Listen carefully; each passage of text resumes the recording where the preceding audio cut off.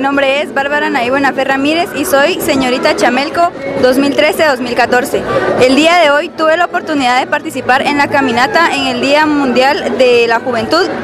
Es importante que todos nos involucremos a darle oportunidad a que jóvenes participen y se integren en la sociedad, ya que como sabemos en el presente somos quienes en el futuro formaremos el desarrollo de Guatemala.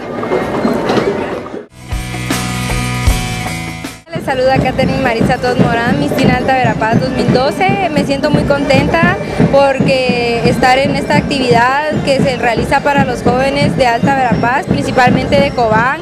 y por el apoyo que se les brinda, ya que actualmente ellos eh, en algunas ocasiones se involucran en malos pasos, ya que no tienen la oportunidad que ellos quisieran tener para realizar sus sueños, sus metas, por lo mismo que insto a las autoridades a que siempre los sigan apoyando como con estas actividades en las cuales ustedes presentan las cualidades que ellos poseen y que a ellos les gusta realizar para que así se sientan importantes ante la sociedad y no busquen compensación al unirse y realizar otras cosas que no son debidas. Y mi mensaje para todos los jóvenes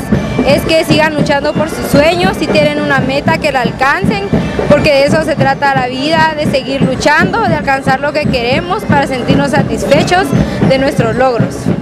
Este desfile es en nombre de todos los jóvenes, en nombre de todos nosotros y nosotros como jóvenes debemos demostrar nuestro liderazgo ya que nosotros somos parte de la sociedad.